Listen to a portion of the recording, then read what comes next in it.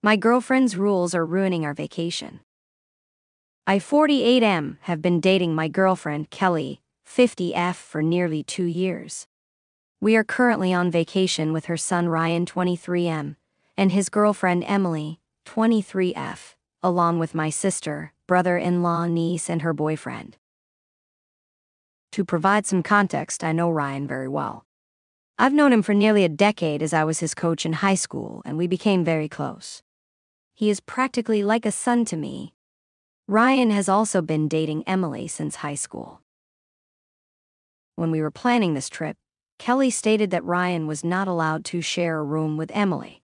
Initially, I thought she was joking, but she was serious. I know Ryan is sexually active as he has openly talked about it since he was a teenager. I agreed to a request, and the official plan was that Ryan and my niece's boyfriend would share a room, while my niece and Emily would share another room. Obviously, that room arrangement wasn't going to last. Everyone was fine with the technical room arrangement. The girls even had a slumber party one of the first nights. Ryan picked up that this was just to appease Kelly. I handed him his keys and said, Give the second one to whoever, and he immediately gave it to Emily. My niece did the same in giving her spare key to her boyfriend. This is exactly what everyone thought would happen. Anyway, somehow Ryan had left his wallet in our room last night. Instead of bringing it to him at breakfast or knocking on his door, or even shooting him a text, Kelly used the key in it to walk into his room. She saw things she didn't want to see. To be fair, they weren't having sex. What was described to me was that they were both nude, covered up at least on their bottom halves, but they were snuggled up and he was running his fingers on her back.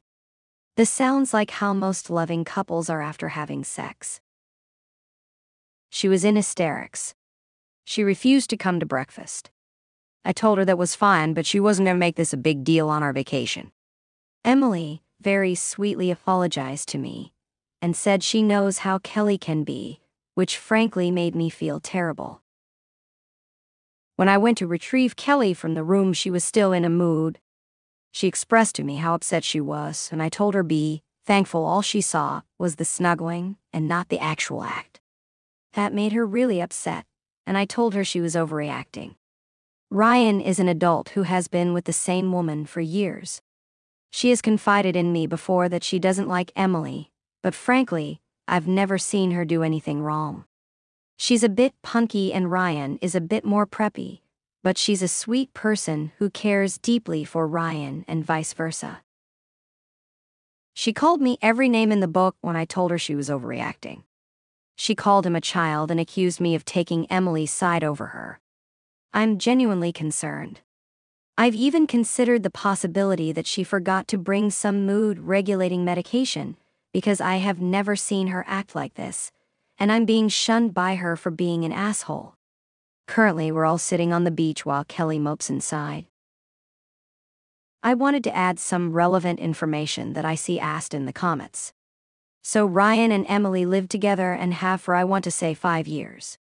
Ryan paid for his and Emily's portion of this trip.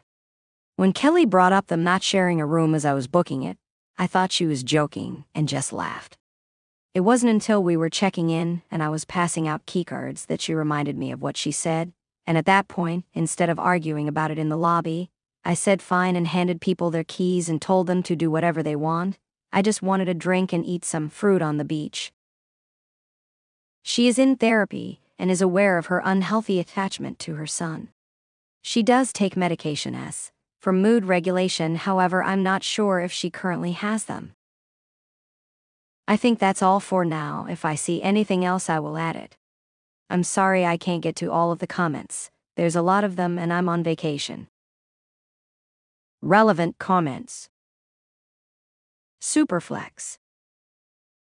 NTA? Yes, she is overreacting. Ryan is far from being a child, he's a 23 year old man, and has been in a stable relationship for at least five years. Your girlfriend shouldn't have even been trying to police them via the room assignments in the first place. OOP. Yeah, he is definitely not a child. They've been dating for closer to eight years, if not mistaken. I agree. It was a bit odd to me, and I suppose I should have questioned it more at the time as opposed to just shrugging it off. Chance add 3606. NTA. Your girlfriend sounds kind of like a nutjob with no respect for her son. Hopefully, this is a one off thing, but considering Emily said, I know how Kelly can be, I am guessing it is not. Hold firm on this one. Defend Ryan and Emily as much as you have to. They did nothing wrong and should feel zero guilt, embarrassment, or any other negative feeling for this. OOP. She's usually pretty great, though she's been cold, albeit polite, towards Emily for as long as I've been around. I'm not sure if something happened, but they don't get along well. With that being said, I do think I'll stick up for them on this one. I don't think I'm going to waver. This was uncomfortable for them too, and I don't want their time to be ruined because of it. Fardiastino. She returned the wallet that way so that she could catch them doing it, and she could feel wronged and offended. Oh, OOP on if his girlfriend is overly attached to her son. I don't think she's ever used the word stealing, but she did get in an argument with him, maybe a year or so ago, about how all he does is spend time with Emily. I can't be certain, though I doubt that argument was the first of its kind. Ravencally. It's called enmeshment. Go on over to JUSTNOMIL and read the pinned reading resources. Amazing Reality 2980. Ente Kelly sounds like the child in this situation, throwing a little temper fit because she isn't getting her way. Her son is an adult. He has sex, she needs to get over herself and let her adult son be an adult and make his own decisions. Kelly is controlling and obsessive and needs to stop because she is destroying her relationship with her son. And if he marries Emily, she's destroying her relationship with her future daughter in law. And what's going to happen when they have kids? Do you think Kelly is going to be welcomed into Emily's home to see her grandkids after Kelly treats her like a slut and pariah? Probably not. The original post and this update are a bit long, so I opted to write the update in a new post altogether. Apologies in advance for the lengthy post. First and foremost, thank you to everyone who commented. I appreciated the helpful comments and was entertained by the less helpful ones. Even if I didn't reply, I did read every single one. Before I get started, there are a few things I want to clear up. I know Kelly is mentally ill, however, in the nearly two years we've been together, I never really noticed anything particularly concerning. Her relationship with Ryan has gotten a lot better both from what I can see and from what Ryan and I have talked about. As for her relationship with Emily, she was never particularly rude to her, but they've also never been close. Kelly is in regular therapy and is medicated for mood regulation. Additionally, I am very, very careful when it comes to enabling behavior for anyone, including Kelly. The reason I took her comment about them staying in separate rooms as a joke is because I genuinely thought it was a joke.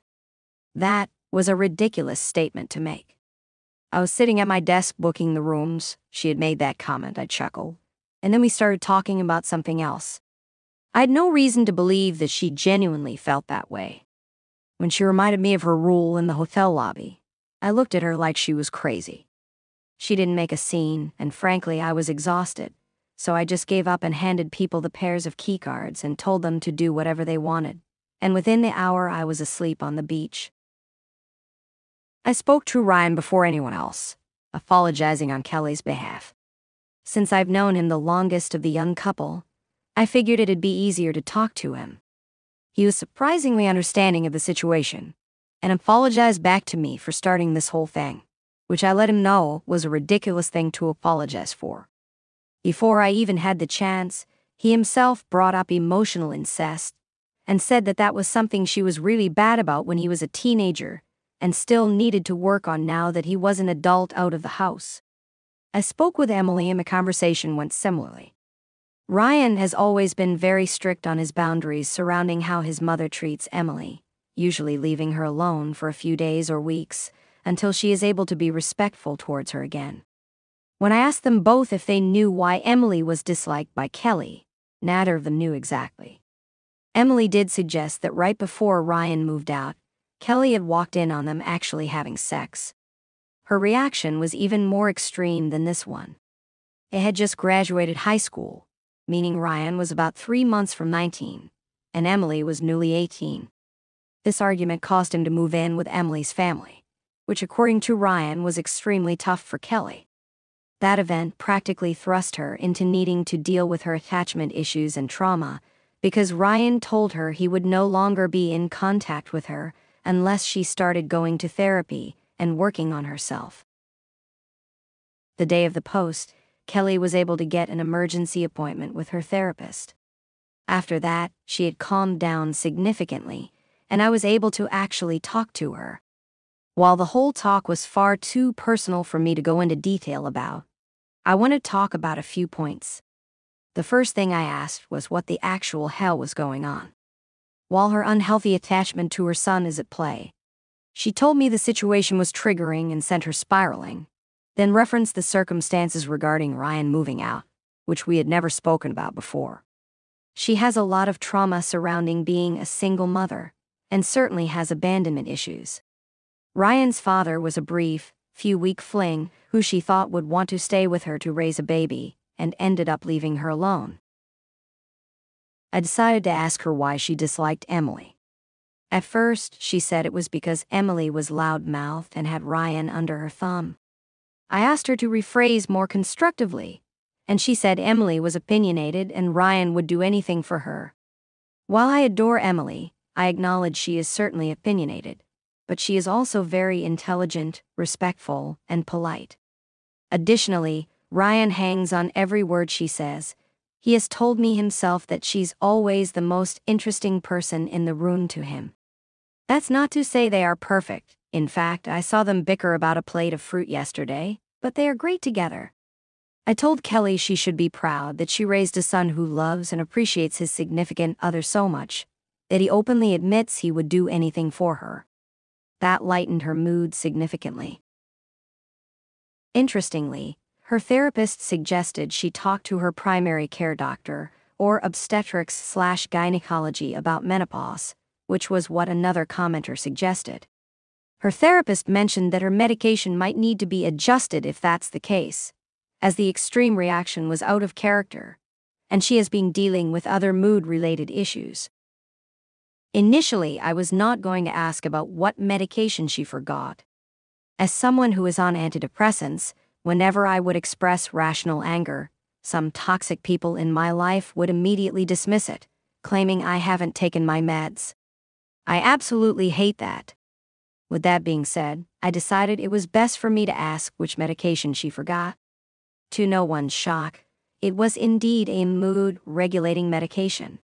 Her sister is joining us for the second week, so she will be bringing her medication. Finally, Ryan and Emily had joined us in a conversation. It was filled with a lot of apologies, a little bit of tears, and a surprising amount of hugging. From what I gather, this is not the first conversation of its kind between the three. One thing that was spoken about was how Kelly ended up with Ryan's wallet in the first place. Ryan is not someone who forgets their wallet or their keys or phone or any other personal item. There was a brief argument about whether or not Kelly took his wallet, but she denied this, and Emily suggested it just fell out of his pocket when he laid on the couch. The biggest topic of conversation was Kelly opening the door with no invitation. She was not able to give a rational reason for doing so, and finally agreed with Emily when she had said that Kelly just wanted to catch them off guard. Ryan also put Kelly in her place as far as boundaries go, which I have seen him to but before but am always impressed by, considering I remember when he felt like he had to just let his mom do whatever she wanted so that she was happy. Kelly accepted responsibility and spoke rather openly about her conversation with her therapist, which led to a lot of compassion and understanding from Ryan and Emily. Emily expressed her gratitude for Kelly accepting responsibility. and even suggested they get a drink together. It was generally agreed upon that this entire situation was ridiculous and that everyone just wanted to enjoy their vacation. Kelly finally gathered herself enough to join us all for our vacation. I feel at ease knowing I can finally, actually relax. Since then, our days have been filled with drinks, beach, good food, and naps, and I couldn't be happier. Relevant comments Middle aged Bob Witch. Very well handled up, and props to everyone for talking it all out and moving through it. Yes, I'm Reddit for Rumble. Good on Ryan for setting boundaries, but I feel bad that he's had to deal with an emotional, incestuous mother his entire life. Hope his therapy is helping him deal with that. Sinner Ixum. Sounds like things ended relatively well. But I expect this will be a recurring issue for the foreseeable future, especially if she ever forgets her medications again. The fact that she still dislikes Emily because She's opinionated just like Kelly. 2. Ryan cares deeply for her. Is a pretty big indicator that the emotional incest is still extremely strong. Based on your post, it still doesn't seem like Kelly realizes the reason Ryan had to leave the house was because of how controlling slash overbearing she was. I would think that after five years of therapy, Ryan 18 to 23, that Kelly would be more in control of her actions and emotions related to Ryan and Emily. Swifty Rick D. 40 2069. At first, she said it was because she was loud mouthed and had Ryan by the balls. I told her to rephrase in a more productive was, and she said she was opinionated, and Ryan would move mountains for her. I love you for this right here. You seem like a very understanding and thoughtful dude. I feel like you handled this like a professional. No notes, keep being awesome, my dude. Edit. I told Kelly she should be proud that she raised a son that loves and appreciates his significant other so much that he has openly admitted that he would do anything for her. That lightened up her mood significantly. Thought tier diplomat. Catwin 52. He has told me himself that she's always the most interesting person in the room to him. Is some sweet as shit. Makes my eyes go glossy. She should definitely be proud of the man she's raised, not battling it. But I get how difficult this situation can be. Glad to hear there's been some levity and love spread through here. Makes my heart warm.